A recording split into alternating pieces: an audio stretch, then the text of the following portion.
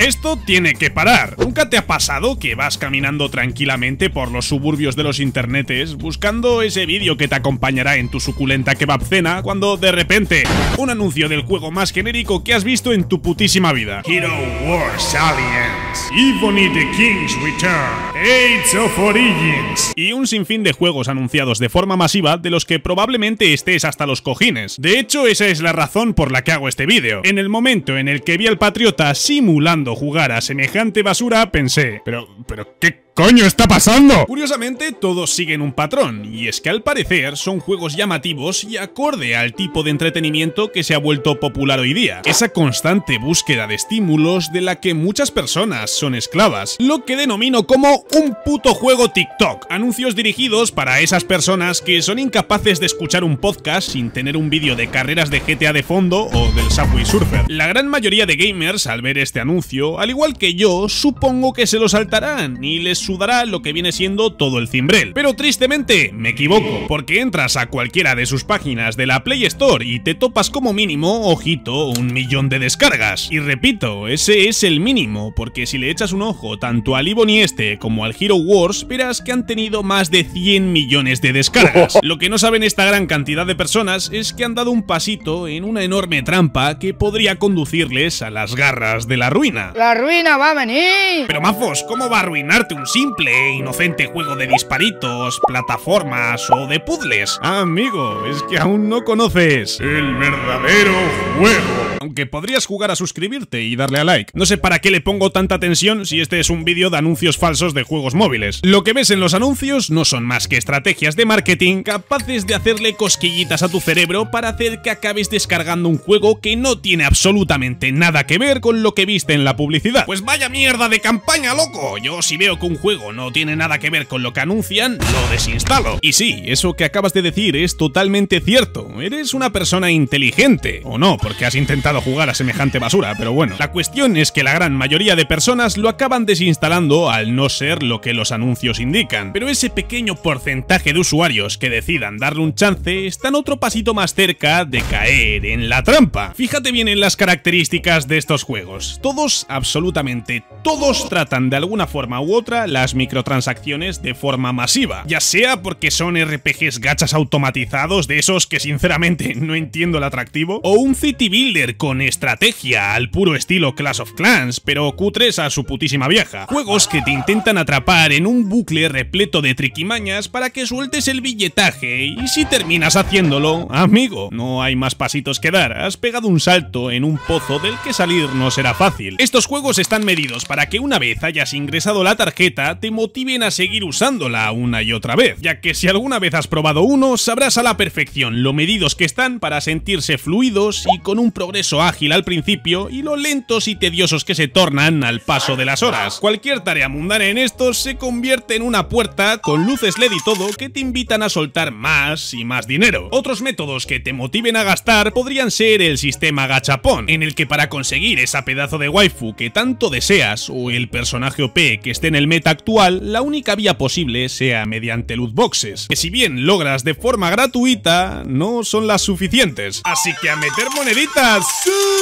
Creo que todo seguidor de este canal coincidirá en lo que voy a decir a continuación, y es que los videojuegos son una puta mierda, ¿no te imaginas? No, pero ahora en serio, son una completa maravilla. A mí me han dado la vida, vamos, a pesar de que en mi niñez tuve que escuchar a mi vieja día sí y día también decirme que estos son malísimos, que se me iba a quedar la cara cuadrada y que acabaría siendo un adicto o algo del estilo. Y aquí estoy, como una rosa extremadamente sexy. Aunque soy youtuber, tal vez tuve que escucharte, mamá. Los videojuegos para mí han sido un maestro. Me han enseñado a apreciar el arte y la cultura. Me han enseñado a asumir las consecuencias de mis decisiones, como romper la pantalla de un puñetazo. Me enseñaron que lo importante no es el final, sino que el trayecto e incluso a no rendirme. Claro está que eso a mí, porque luego hay gente como nuestro pana Daigo, al que los videojuegos le han jodido la puñetera vida, aunque él diga que no. Aquí donde le ves, nuestro compita nipón se ha gastado más de 70.000 dólares en Fate Grand Order, un videojuego para móviles como cualquier otro. Y ese es el problema principal, que los videojuegos móviles por lo general son una máquina tragaperras. No, Mafius, yo juego de Cells en mi celular y... Que sí, que ya lo sé. Eso sí, hay que tener en cuenta que el vídeo de este documental es de hace 6 años. No me quiero imaginar cuánto llevará gastado ya. A este tipo de jugadores se les denomina como ballenas. Y no, no hablamos del peso de nadie que ya tenemos una edad. Pero,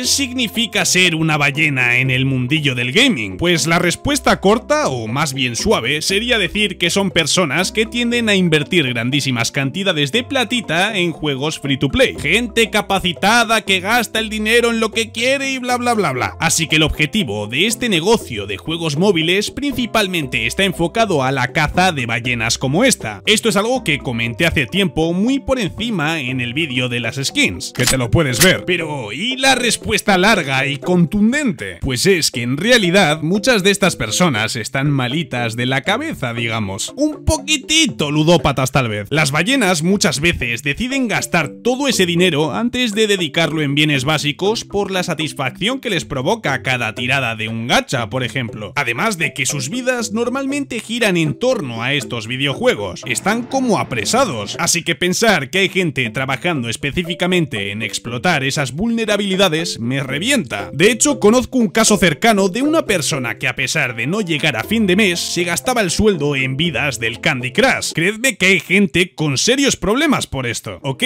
así que todo empieza con un anuncio de un juego falso que cumpla todos los estándares de retención de hoy día. Millones de incautos caen en la jugarreta y deciden descargar el juego. Una vez dentro, la gran mayoría decide desinstalarlo. O sea, lol, what the fuck, estás viendo esta mierda. Pero de ese pequeño grupo que se queda, se estima que hasta un 2% de las personas son potenciales ballenas.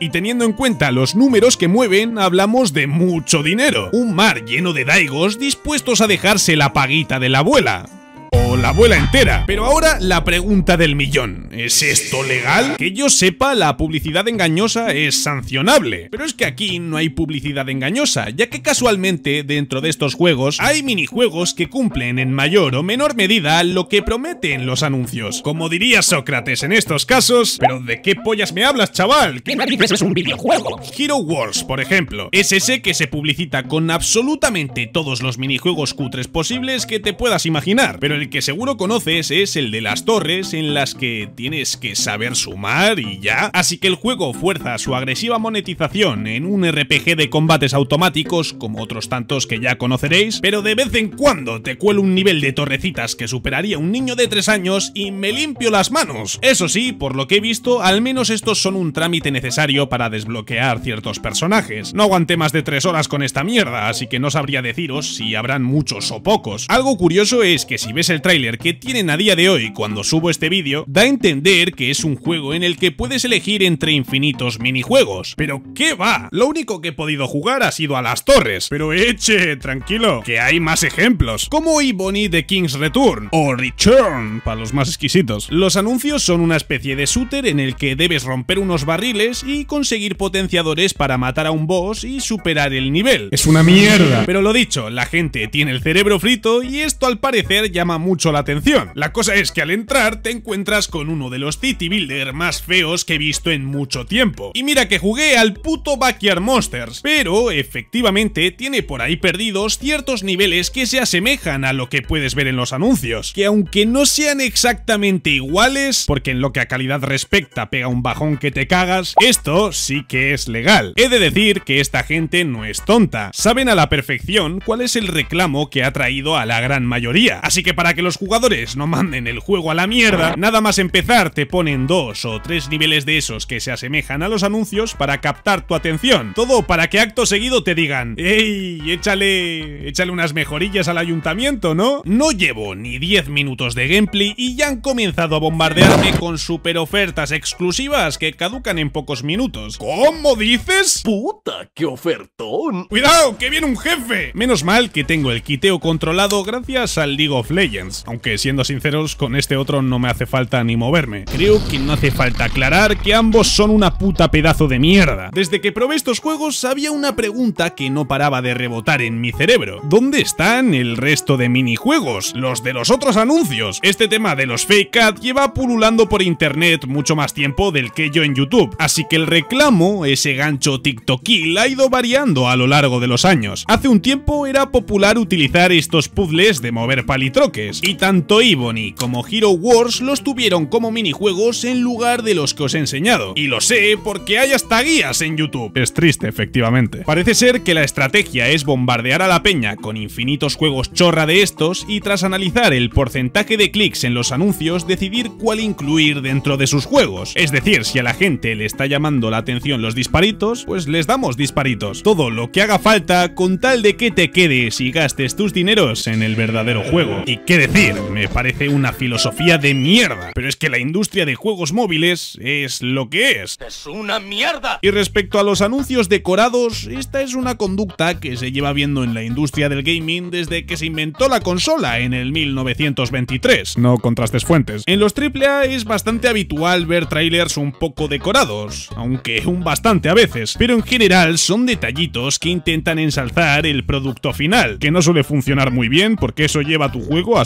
sufrir cientos de críticas por un downgrade bastante molongo. Preguntadle a Ubisoft, si es que sigue abierta en los próximos meses, pero no va más allá. No te anuncian un juego al estilo de Pokémon para que finalmente sea un survival zombie. Eso no tiene sentido. ¿En qué cabeza cabe que esta mierda pueda funcionar? ¡Ya! ¡Oh! Pues en la cabeza de muchos usuarios móviles. Parece ser que no te ha quedado claro este vídeo. Si te ha gustado este tema anuncios, déjate. déjate un likecito. Sí, yo lo sabré y me pondré a cocinar otras cositas que tengo pensadas con este tema. ¿Eh? Demasiado anuncio no por tal vez. Y además tienes por aquí este otro que recomiendo muchísimo. Es de mis favoritos en el canal y no lo ha visto ni Dios porque debe ser que la miniatura es una mierda o yo que sé. Cosas de ser youtuber que escapan de mi comprensión. Muchas gracias como siempre. Recuerda seguirme en mis otras redes y por supuesto comenta. Caí en el juego trampa si has llegado hasta esta parte del vídeo y yo te daré un corazón como hago siempre.